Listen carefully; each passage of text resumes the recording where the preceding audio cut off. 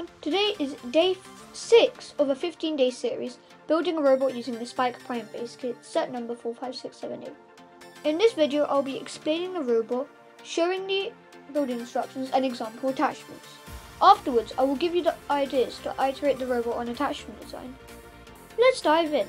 The robot itself has three motors, two medium and one large. The two medium ones being for the driving motors and the large one being for the attachment. We are using the Spike Prime control hub and the robot is built in a way so it can align and square against the walls as well as making it easy to align.